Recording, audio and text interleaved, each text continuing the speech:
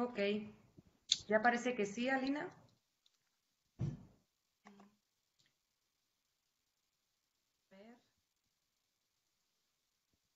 Alguien que, este, Tere, a ver, ya que estabas por ahí por Facebook. ¿Todavía no? A ver, permítame un momentito, es la primera vez.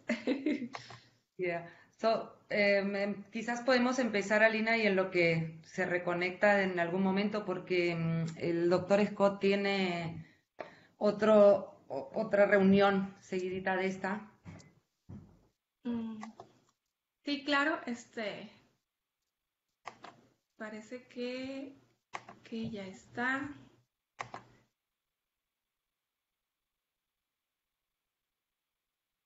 Ismael, ¿me avisas? Sí. Ahí está Ismael. Está Ismael al lado. me dice que todavía no, que me va a avisar. Yo para cambiar de pantalla porque. Sí, ya. ¿Ya? Parece que ya. Todavía no dicen. Ya, ya está. Ya está. No puede, Ismael dice. Bueno, ya se está grabando, ¿eh? pero ya está en vivo. Ok, espera un momento, Ismael, porque va más lento, ¿eh? Vale, pues voy, a empezar, ¿vale? Sí se ve ya en Facebook. Ah, bien, bien, bien, perfecto, gracias. Bueno, pues bienvenidos a todos. Este, volvemos con los seminarios y esta es, este es un seminario muy especial porque va a ser el primer live en Facebook. Este, aquí el, nuestro padrino va a ser el doctor Scott Rafkin. Eh, mencionar que esto es un esfuerzo de las, eh, estas redes son un esfuerzo del, del, grupo de redes sociales del Departamento de Oceanografía Física, de CICESE, Estamos ya en Twitter, en, Instagram, en YouTube y como ven también en Facebook. Así que las preguntas también podrán ser formuladas en Facebook y el que se conecte por Blue Jeans, pues en Blue Jeans. Entonces, acá les dejo cómo, cómo está este Facebook, ¿no? Ya algunos ya tendrán la página. Hoy es el primer día, entonces tenemos algunas cositas técnicas que solucionar, pero espero que todos nos puedan seguir, ¿ok? Bueno, comenzar con el doctor Rafkin, el cual este, investiga atmósferas planetarias con especialización en predicción climática, modelización de mesoescala, dinámica atmosférica y microfísica de nubes. Tiene una gran experiencia en el desarrollo de modelos para el estudio de circulación de mesoescala, nubes y aerosoles, eh, eh, tanto en la Tierra como en otras atmósferas, es decir, como la de Marte, Titán, Venus y Plutón. Desde 2003 provee predicciones ambientales para los rovers de Marte de la NASA, siendo además coinvestigador en las famosas misiones del rover Curiosity y rover Perseverance. Eh, obtuvo su grado en la Universidad de eh, California de Los Ángeles, maestría y doctorado en la Universidad de Colorado y postdoctorado en la Universidad para Investigaciones Atmosféricas. En la actualidad es el director del programa del Southwest Research Institute en Boulder, Colorado, tiene más de 10.500 citas de sus artículos y 92, hasta el momento, artículos publicados, capaz que ahora está publicando otro, ¿no? Así que sin más, eh, bueno, el título de su charla es Energía turbulenta e intercambio de masa entre la atmósfera y los lagos criogénicos de metano líquido de Titán. Muchísimas gracias, doctor Scott, por recibir nuestra invitación y ser el padrino.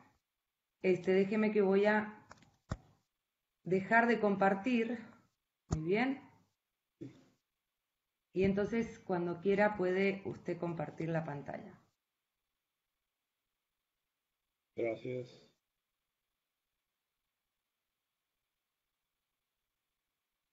Perfecto, ya se ve. Pues, ok, bueno, gracias por la introducción, Sheila, y uh, gracias por la oportunidad de hablar hoy. Eh, lamentos de Portugal, pero espero que las cosas mejoren eh, en el futuro. Ah, yo intentaré hablar en español, pero es posible que necesite volver al inglés a veces. Ah, como pueden ver, Uh, español no es mi lengua materna. Can, can everybody mute, please? There's some interference. Sí, por favor, eh, olvidé decirlo, pero todo el mundo eh, que apague su micro y la cámara también, por favor. ¿eh? Gracias. Gracias. Perdón. Este, Ok. Gracias. Um, al final, eh, es posible que también necesite ayuda para traducir las preguntas. Uh, quisiera agradecer a mis colaboradores en este trabajo, uh, Dr. Alejandro Soto y Dr. Audrey Chaton. Alejandro está en mi uh, institución y Audrey es una estudiante postdoctoral visitante. Uh, so, hoy, um, hoy me gustaría hablar sobre Titán. Titán es una luna única. Titán es la más grande de las 62 lunas de Saturno. Y aquí se puede ver uh, la mayor grande de las lunas de Saturno. La luna Titán es la más grande con diferencia. De hecho, tiene aproximadamente el tamaño del planeta Mercurio y es más grande que nuestra luna.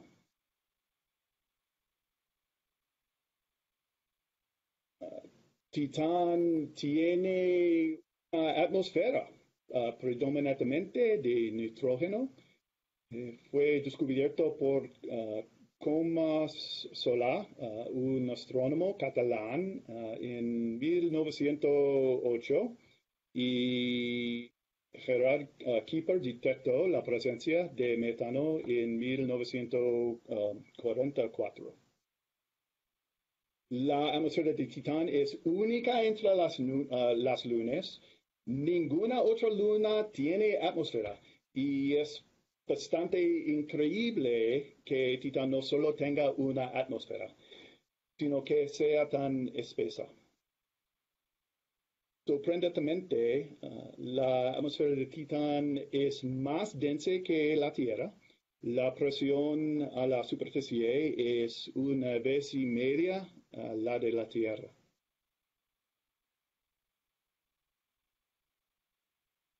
Además, Titán tiene lagos y mares. Uh, estos están hechos principalmente de metano, con una cierta cantidad de etano y otros uh, hidrocarburos uh, mezclados. Los lagos fueron mapeados por el radar Cassini Orbiter. el líquido tiene una refle reflectividad de radar muy baja y el radar puede mirar a través de la espesa atmósfera.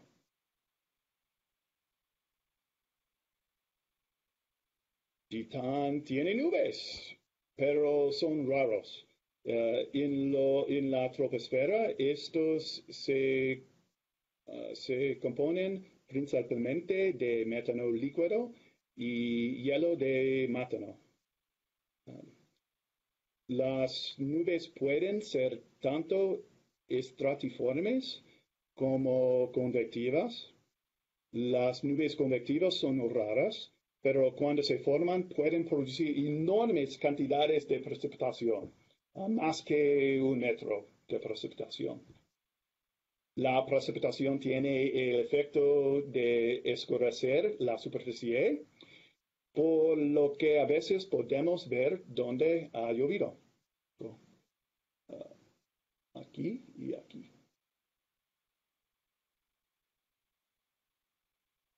El metano es estable uh, como líquido y gas uh, a la temperatura y presión de Titán. Y debido a que el metano es volátil, Uh, existe un ciclo de metano análogo al ciclo hidrológico de la Tierra. La, uh, la, vida, la vida del metano es de unos 10 millones de, de años, pero en escalas de tiempo geológicas debe uh, haber un una fuente de metano debajo de la superficie.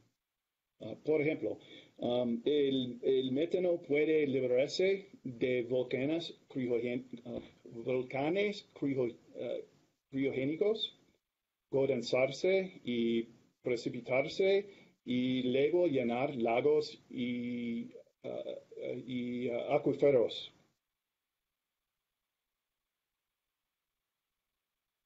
En escalas de tiempo cortas, la evaporación de los lagos y la precipitación de las nubes probablemente dominen. Eh, si el sistema es estable, probablemente la precipitación de las nubes debe equilibrar. Todo lo que sube tiene que bajar. Hoy ah, me enfocaré en el proceso de evaporación de los lagos y mares.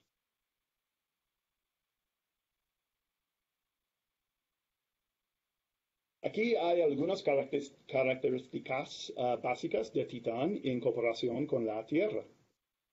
Ah, Titán es, es, más pequeño que la Tierra y la aceleración gravitacional es un séptimo de la Tierra y está más lejos del Sol, ah, por lo que la insolación es mucho menor y el año es mucho más largo. Um, eh, eh, un, año de Titán es 29 ah, años ah, eh, en la Tierra. La temperatura de la, de la superficie de Titán es muy fría, más o menos 94 um, uh, Kelvin. Y la composición es similar a la Tierra, excepto que la Tierra tiene oxígeno uh, debido a la fotosíntesis. La Tierra tiene agua como su principal volátil y Titán tiene metano. Bien, uh, conocemos. So, evaporación uh, de lagos. Uh, hay tres factores que controlan la evaporación. Um, el primero es el gradiente, uh, gradiente de vapor entre la atmósfera y la superficie.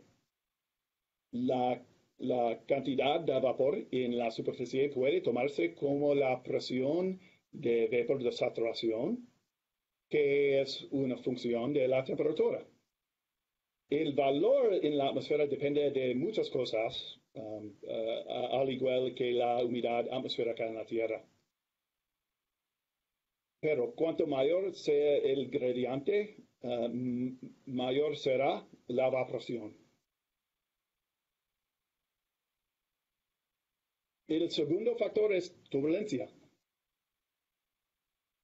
La turbulencia transporta el vapor lejos de la superficie y trae aire más seco hacia la superficie, mm, lo que permite que el vapor se evapore más rápidamente. La cantidad de turbulencia depende de la cantidad de cizalladora del viento. Cizalladora, I think. Sure, yes, cizalladora del viento. La cizalladora uh, del viento implica el hueco de, de la atmósfera. Um, uh, uh, como la, la, pluma entre mis manos, la cizalladora implica el hueco.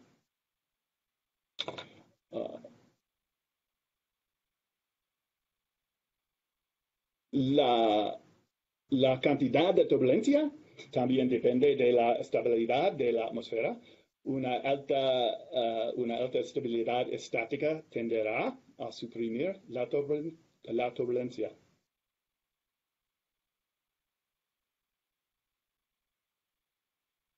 Uh, el, efecto combinado de uh, estabilidad y, y corta a menudo se expresa como el número de Richardson por lo general, cuando el número de Richardson es inferior en un cuarto, hay turbulencia. El último factor que controla la evaporación es la velocidad del viento. al, igual que la turbulencia, el viento puede transportar el vapor lejos de la superficie. También puede uh, causar olas, lo que aumenta la rugosidad de la superficie y produce turbulencia.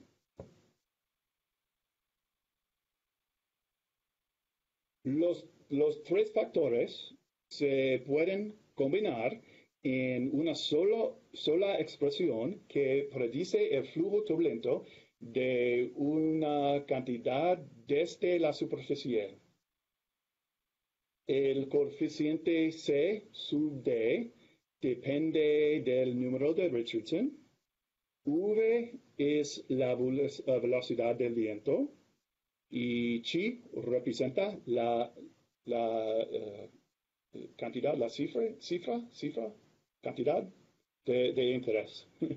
chi, puede, chi puede ser uh, vapor, temperatura o cualquier escala.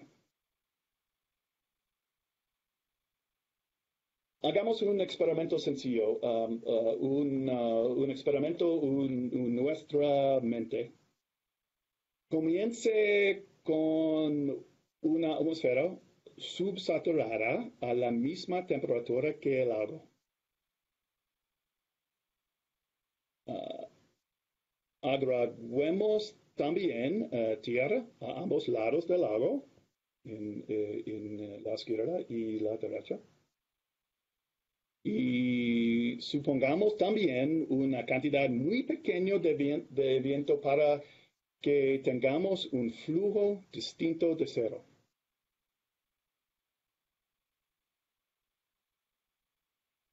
Como no, como no hay diferencia de temperatura entre la, atmósfera y la superficie, uh, no, hay, no hay gradiente térmico, um, no hay intercambio de calor turbulento. Pero hay un gradiente de vapor. Uh, el vapor se evaporará del lago y pasará la atmósfera. Uh, el, uh, azul uh, no es un, nube aquí, es una representación del vapor. El, el, peso, eh, el peso molecular del metano es mucho menor que el del nitrógeno. así el, eh, el vapor será flotante.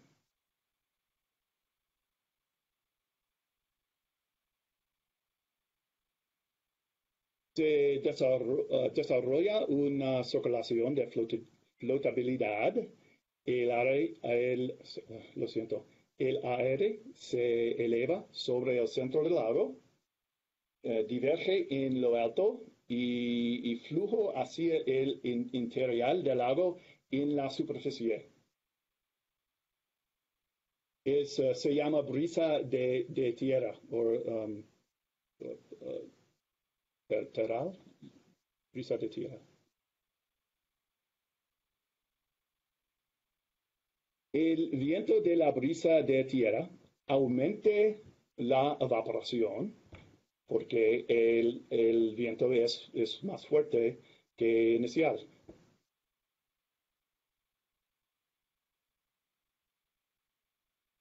La evaporación también uh, enfría el lago.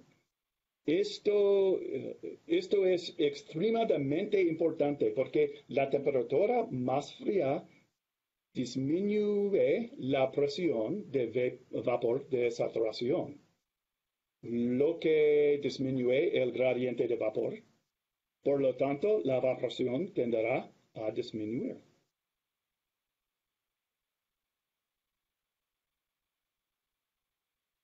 Ahora también hay un gradiente de temperatura.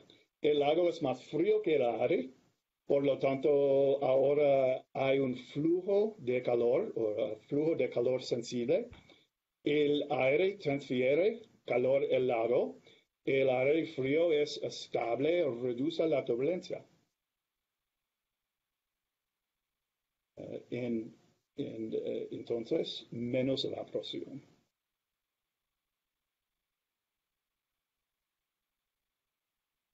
El aire frío sobre el lago genera una brisa marina contraria la brisa de tierra. Eh, el aire frío se mueve sobre la tierra. El aire se hunde sobre el lago y el aire uh, converge, uh, converge en, lo, en lo alto. Las circulaciones uh, tienden a cancelarse.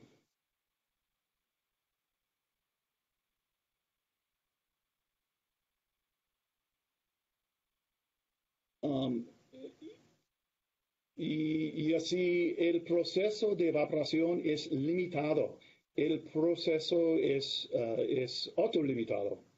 La circulación de flotabilidad inicial aumente el viento, lo que hace que aumente la, la velocidad del viento y la evaporación.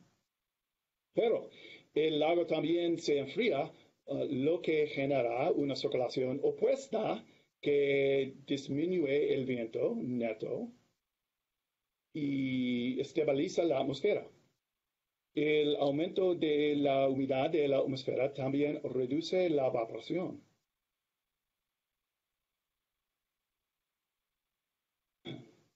Um, tenemos una capa marina, es estable, es uh, frío y, y húmedo.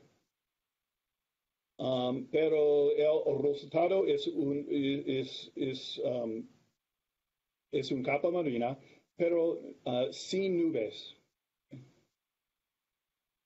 Uh, estudiamos esta interacción uh, aire-mar con más detalle con un modelo numérico.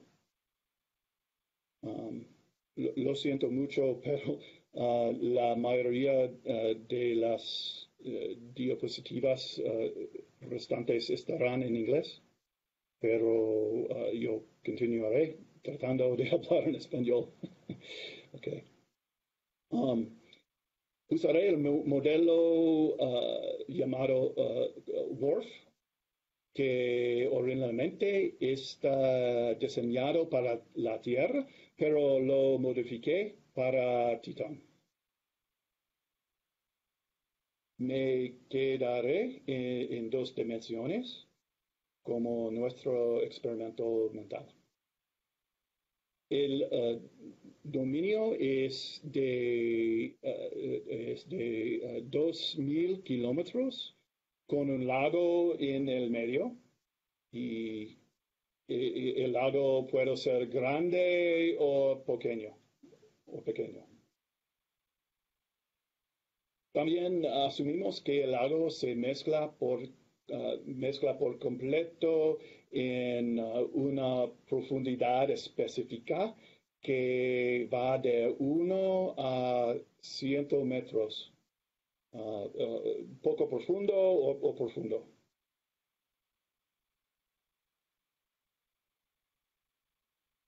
Aquí es el caso primero.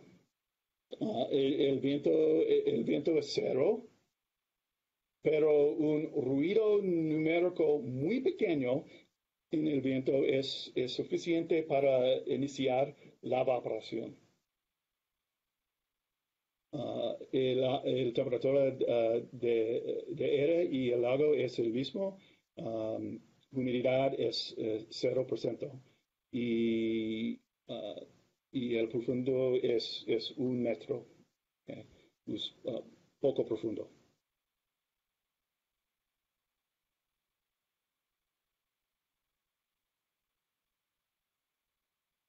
Uh, un, fuerte pluma de viento, uh, pluma, um, pluma de metano flotante se desarrolla muy rápidamente.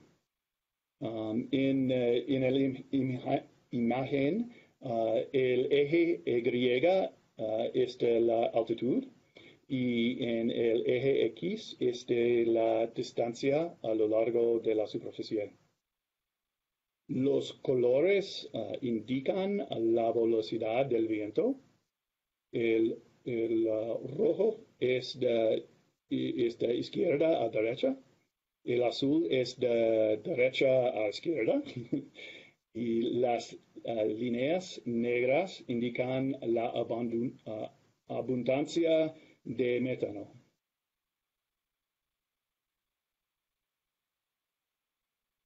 La, la flotabilidad del metano es fuerte y la circulación de la pluma es fuerte.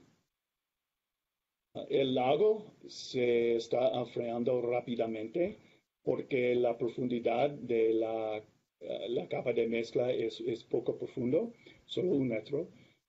Y la atmósfera que está en contacto con el lago uh, también se está enfriando.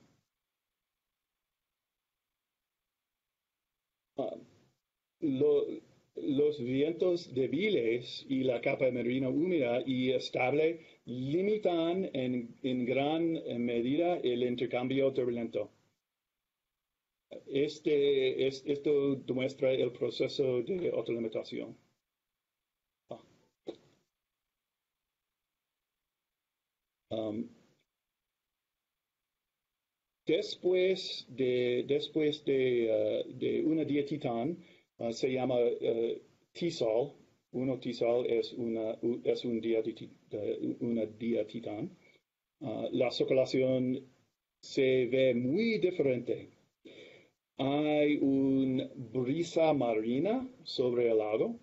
Los vientos han, han uh, cambiado por completo.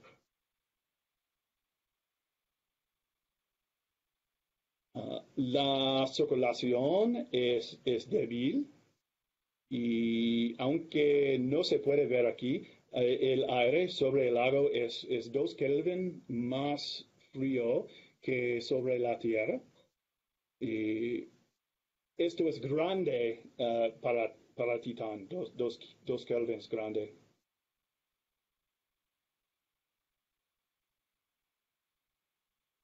Después de, tres días de Titán, más, eh, más o menos 48 días de la Tierra, hay, hay un uh, cuasi equilibrio. Una brisa marina débil, un lago frío, aire frío sobre el lago y una, una capa marina húmeda. Es es importante destacar que los flujos turbulentos son muy pequeños en, en, estas condiciones. Aquí hay una animación. La, parte superior eh, muestra metano, el medio muestra el viento y la, parte inferior muestra la temperatura potencial.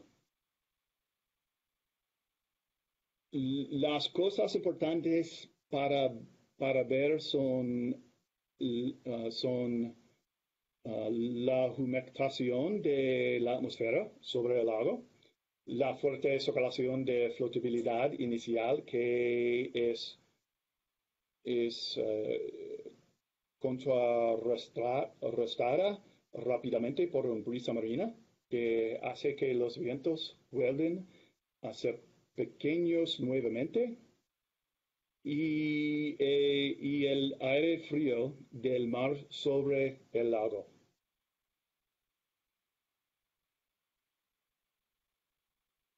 Ahora uh, veamos uh, más de cerca los flujos y otros, uh, otras propiedades. Uh, estas imágenes muestran uh, la distancia frente, frente el, el tiempo. Um, hay, hay, tres fases. La fase de pluma, pluma de metano, una transición corta y una fase de equilibrio. En, en el parte superior izquierda uh, se puede ver un flujo de calor latente uh, inicial muy grande. Esto documenta uh, la gran evaporación, es, es en rojo. A, me, a, medida que el lago comienza a enfriarse, se desarrolla un gran flujo de calor sensible. Esto, esto está aquí eh, en, en, la imagen de, abajo a la izquierda, en azul. Es, uh, es uh, calor sensible. Curiosamente, el aire sobre el lago se calienta inicialmente aquí en, en rojo. Esto se, debe a la mezcla turbulenta de ese aire potencialmente más cálido desde arriba. pero no dura mucho y se desarrolla un periodo de aire frío durante la, fase de transición. Tengo en cuenta que, que en momentos posteriores, que en momentos posteriores, posteriores sobre el centro del lago, um, el, aire no se enfría tanto como cerca de los, de los bordes. Esto se debe a que el aire se, se, se hunde y se calienta dinámicamente sobre el lago debido a la circulación de la brisa marina. En los, en los bordes del lago, el aire se ha enfriado por la larga trayectoria sobre el lago. Uh, se dice fetch en inglés, no se dice en, español, pero uh, una larga trayectoria sobre el lago la humedad eh, del aire sube inicialmente, pero vuelve a caer rápidamente una vez que se alcanza el equilibrio. Equilibrio. El aire nunca está cerca de la saturación. Uh, uh, humedad uh, es aquí. nunca está cerca de la saturación no se esperarían nubes. Finalmente, los vientos eh, y ah, los vientos son fuertes durante, durante, la, ah, durante la fase primera, pero se vuelven muy débiles en el equilibrio.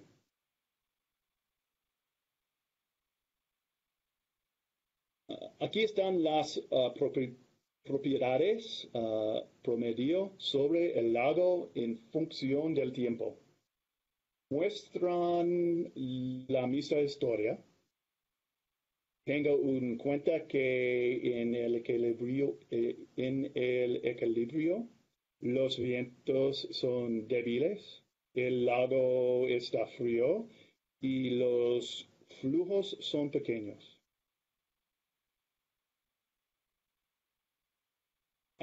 aunque la evaporación siempre está eh, presente, la abundancia de metano no sigue aumentando. La circulación está transportando el metano lejos de su fuente.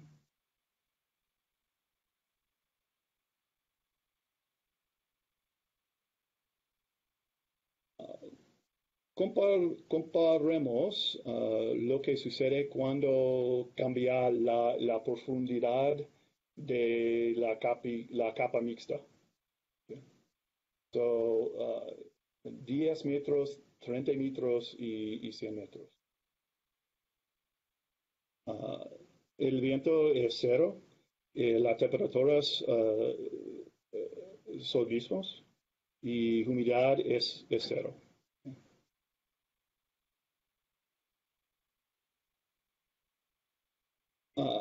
los lagos profundos no se enfrían muy rápidamente.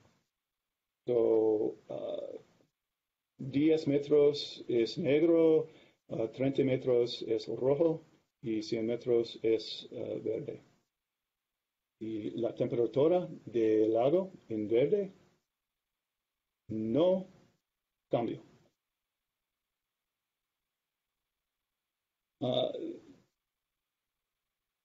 Por, lo tanto, es, eh, es difícil desarrollar una brisa marina y persiste la circulación inicial de la pluma. La humedad es mayor eh, con el lago más profundo debido a la mayor evaporación. La solución, la, solución tiende así el caso anterior de un metro a medida que la capa de mezcla se vuelve cada vez menos profunda.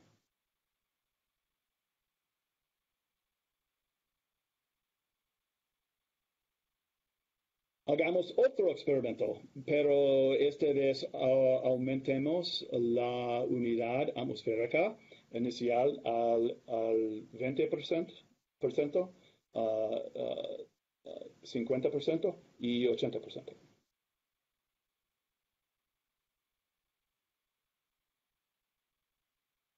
Verde es 80, rojo es, es 50 uh, y y negro es 20. Ah, como era de esperar, eh, cuanto mayor es la humedad, menor es la evaporación inicial y más lento se enfría el lago. Y en consecuencia, las humedades más altas también tienen una brisa marina más débil sin embargo, en última instancia, todos los casos tienden hacia una capa marina estable y fría con pequeños flujos.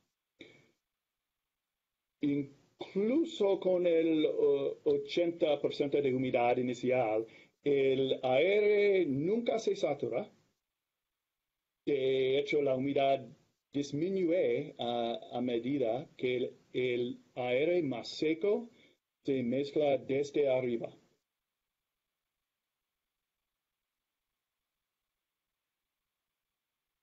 Realizamos casi 100 uh, experimentos diferentes para comprender uh, eh, mejor el efecto de diferentes parámetros. ¿Cuáles son las más realistas? ¿Cuáles representan mejor el titán real? Ah, pues eh, tenemos algunas observaciones para eh, restringir la realidad. Ah, por ejemplo, los lagos no están congelados. Los, los, lagos deben tener una capa de mezcla bastante profunda o comienzan relativamente fríos, pero no congelados pero que el equilibrio se alcance rápidamente. Eh, además, las superficies del lago son, son suaves. La reflexión especular rara ves, se ve desde la superficie del lago. Los lagos suaves significan poca o ninguna ola lo que implica bajas, bajas velocidades del viento. La solución de equilibrio de una capa marina estable y tranquila es probablemente, ah, probablemente correcta. Ninguna de las simulaciones muestra una atmósfera saturada. Las, uh, las observaciones rara vez muestran nubes sobre lagos, por lo que probablemente esto también sería correcto. Si el aire es húmedo, también debe ser, frío, o, o se observaría, o se observarían nubes convectivas ah, profundas cerca de los lagos. Pero estas nubes no, no se observan.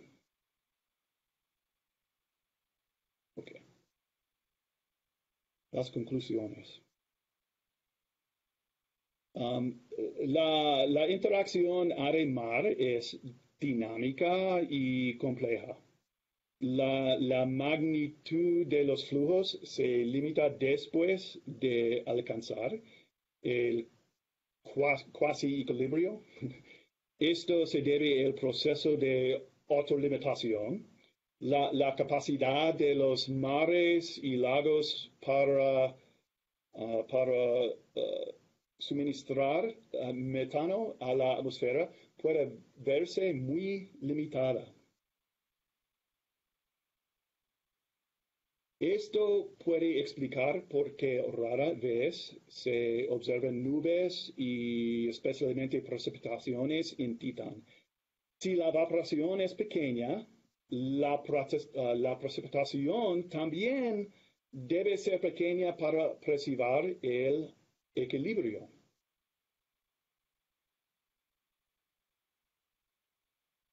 la circulación final del lago es una combinación de circulación de flotabilidad de metano y la circulación de brisa marina. La circulación neta es casi siempre muy débil.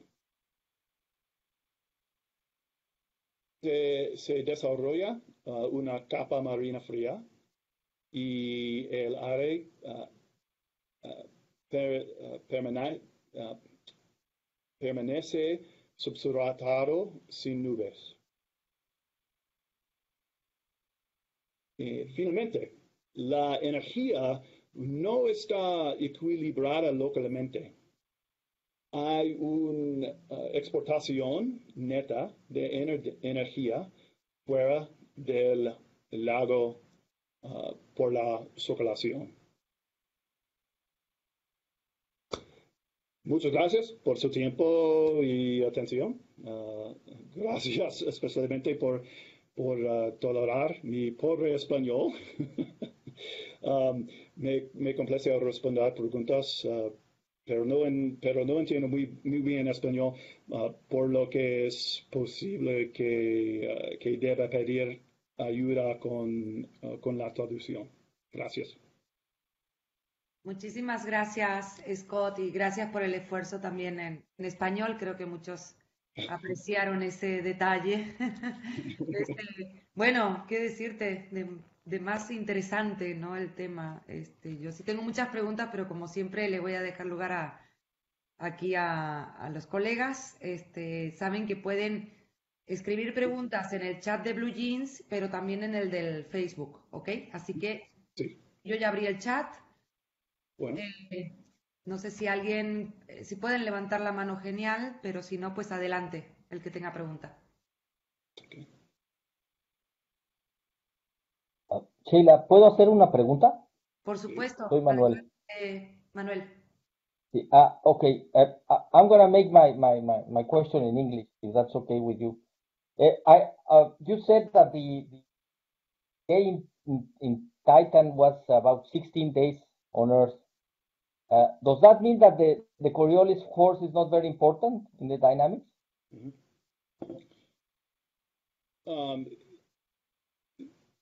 uh, yes and no. Um, so the, the 16 days is a much slower rotation than Earth, obviously. Uh, and so the Coriolis force is, is much smaller. On, um, on very long time scales and very large spatial scales, the Coriolis force uh, can still uh, have an important acceleration, and we do see in the in the large scale atmosphere um, uh, uh geostrophic balance, or or at least uh, thermal wind balance. So um, it, it is important dynamically, particularly on the large scale. Um, on the smaller scale and smaller time scales, like what I'm looking at, hopefully, I have I have neglected the Coriolis force. But the expectation would be that if these circulations persist for a long enough time, that there there of course would be a uh, an acceleration on the on the winds, um, and it's it's possible to uh, one might see a sort of uh, uh oscillation, diurnal oscillation in the winds associated with the Coriolis force.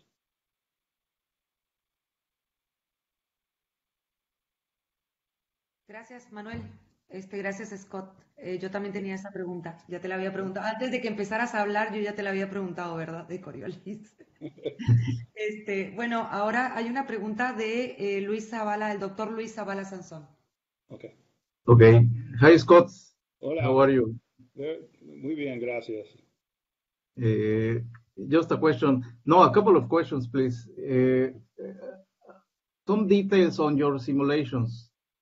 Uh, are you starting with a stable atmosphere in, in your simulations, right? But what, what is the Richardson numbers? What are the Richardson numbers? Ah, okay. So the the um, the the model is initialized with a vertical profile of temperature and humidity that comes from the Huygens descent probe, uh, which was uh, which which took a, a, sounding through the atmosphere as it as it went down to the surface of Titan as part of the Cassini mission. And the atmosphere was uh, was stable, at least with respect to to dry motion. Um, it was unstable or potentially unstable with respect to deep convection if you could lift the air sufficiently high enough and uh, but we didn't that doesn't seem to have happened uh, at the at the Huygens site the I don't know off the top of my head exactly what the what the Richardson number is um, but it is it's likely uh, greater than than 0.25 so it tends to be stable but in the model, um, at least initially, there's always some amount of uh, mixing or, or other due to numerical considerations. So um, that's enough to initiate the circulations, even if right. the atmosphere is initially completely stable. Right, and your CD, your uh, drag coefficients, how are you calculating or estimating those numbers, which are always very tricky? Yes, right. So we use um, uh, the same parameterizations that are, are used for Earth, um, and uh, uh, it's essentially Mononobakov surface layer theory. Um, and uh, the, the, the, the, different regimes of stable, neutral, and unstable uh, are considered. Effectively, those amount to uh, a function of Richardson number. And based on based on that uh, parameterization, we get the, the, the bulk coefficient, drag coefficients, which can then be applied, multiplied by the wind and the and the gradient. So it's it's done exactly like on Earth. Okay, so around 10 to the minus 2 or minus 3 or something. Some, just um, roughly. Yeah, I, I, it's actually a good question, and I don't recall the values off the top of my head. it's okay. okay. Uh, last last one, please. Uh, and at the end, do you have some images or photographs, or how many lakes are known in in, in Titan? Okay. Um, and what are they, their their sizes right. and a few details on that? Thank you very much. Uh, yes, thank you for the questions. Um, there are hundred, hundreds of lakes. Um, most of them are located in the high northern latitudes. There are a, just a couple of small lakes in the high southern latitudes. Um, there are no lakes found in, uh, in the middle subtropical or tropical latitudes. It's essentially a desert. So all the lakes are, are in the high latitudes. The largest lakes, uh, and there's a couple of them, are we call them seas, mares, rather than lakes, um, are on the order of hundreds to a thousand kilometer wide. Uh, most of the lakes are are much much much much smaller, um, 10 tens of kilometers, maybe 100 kilometers. Thank you. Thank you, Luis. And Sorry, Homer, I, I, know it's your turn, but I want to ask uh, something because it's related with the uh, Luis uh, question. Um, your parameterization of the mixing is based on the Richardson number, but I, I, want, I was wondering if you are uh, missing information about the convective cells uh, because of the heat um, exchange. Yeah. So I don't know exactly in what uh, mixing schema are you using? Mm-hmm. Right. So the the the surface uh, the surface fluxes come from the Mononovikov theory, right? And uh, and and you are correct that the the two kilometer uh, horizontal grid spacing is is insufficient probably to explicitly resolve the atmospheric overturning, right? Mm-hmm. And so that has to be parameterized that as well via an eddy diffusion, and and that's done through um, a, a, version of a Meller-Yamada level 2.5 turbulent kinetic energy scheme. Yeah, um, yeah. so it's, it's fairly standard uh, Earth model type stuff. Um, and, and I will point out that one of the things we're hoping to do, um, in, in uh, Guillermo, actually, this is going to be part of his thesis, is to do large eddy simulations. Yeah. And to explicitly simulate that overturning and uh, and try to at least understand whether we're doing an okay job of that or not, and, and obviously also understand the dynamics and transport and other things. So um, there's uh, it's a great question. Yeah. Cool, cool. Yes, we're waiting for that. So now, Yes. uh, thank you, thank you so much. Uh, Omar Verdugo. Hello. Gracias, Sheila. Uh, hello, Scott. Um, I'm curious. Uh, you just mentioned that the lakes on the North Pole are bigger than the ones in the South Pole. I I had that understanding. I'm glad you cleared that up. I understand that there are also some other differences, like uh, presence of a big uh, uh, South Polar vortex know, in the a prominent feature in the in the south. Uh, so my question is, uh, considering the big seasons, the 30 years uh, exchange in summer, winter, do you think that we can expect this condition to flip and uh, see a decrease in the size of the lakes in the north, or maybe a, a north polar vortex in the next Right. 30 years, something like that? Right. Yeah. So the um, l- let me um, well, the, the, the Titan does have seasons, um, and uh, its its inclination is its axis of inclination is, is not so different than Earth. So um, it does it does have have four seasons, and we have observed Titan um, for much of its year, um, either from orbit or from from ground-based telescopes. And so we do know that uh, there is a seasonal cycle to clouds.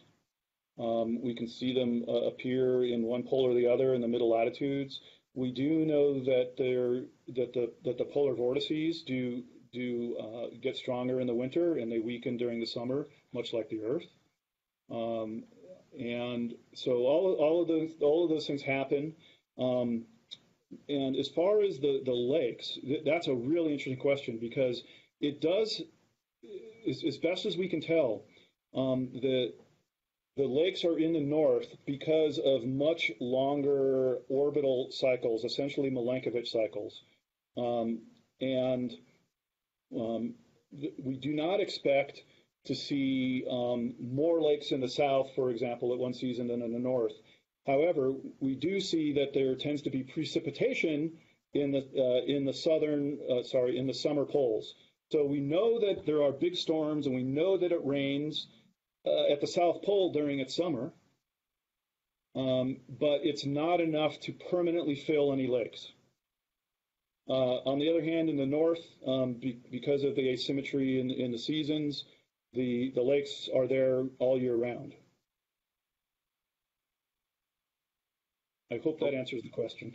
Yeah, uh, okay, could and could be because uh, could uh, the big uh, south polar vortex could be related to that, to the evaporation or something like that? Um, the certainly the I mean all the methane that we see and its variation is, is going to be coupled to surface evaporation at some at some level. Um, it, does seem that once the once the methane is evaporated from the lakes, primarily in the north, the large scale atmosphere does transport it and move it around pretty quickly.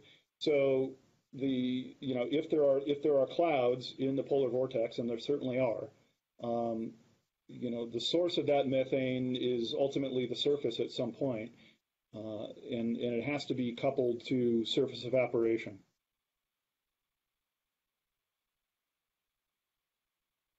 Thank, Thank you, Omar. And uh, Dr. Luisa Farfan?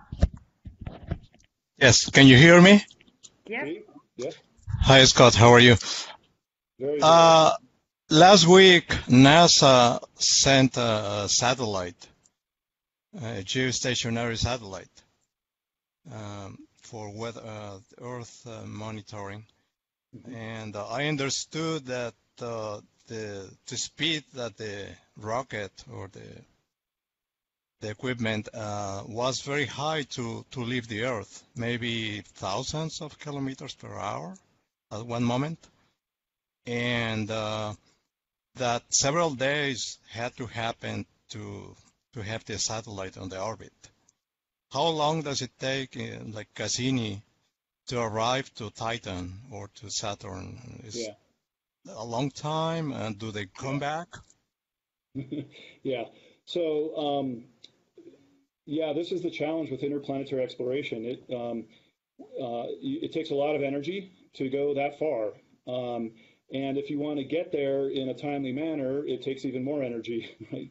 So um, the uh, the the rock the, the payload the whatever you send to Titan or to the outer solar outer solar system typically has to will typically go at kilometers per second kilometers per second uh, and um, in the case of the Dragonfly mission, which is which is the, the next mission, uh, uh, NASA mission, it will take um, anywhere from about uh, six to ten years to get to, tit- to Titan from Earth. Uh, I can't give you the exact number because it depends on when you launch and how big of a rocket you want to use and, and various other things. But it takes takes a long time. Hmm. Well, thank you. Okay. Thank you, Luis. Uh, and well, I'm sorry, but I'm I'm I'm, that, I'm going to have to take that as the last yeah. question because I have to go. yeah, yeah, yeah. I know. I have a very important meeting. Yes. So, muchísimas gracias, eh, doctor Scott. Eh, esperamos verlo por aquí porque le debemos el queso pan y vino. Este, así que cuando quiera, acá está invitado. Gracias. Gracias. Okay. Vale, les despedimos al doctor. Eh, imagino un, habla, un, aplauso virtual.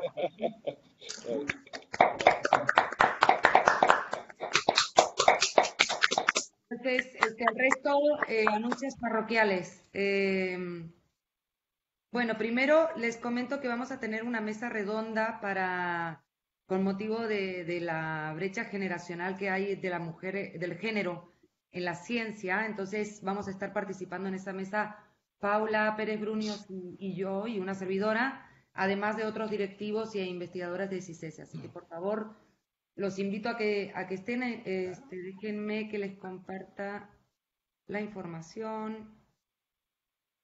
Eh, bueno, fue enviada por correo, ¿verdad? Entonces, de hecho, mira, acá. Sheila, va, va, a ser a la misma hora que tenemos la reunión con. Eh, eh, pues es a las dos. Ah, ah es, a las, es a las dos. Es a las dos.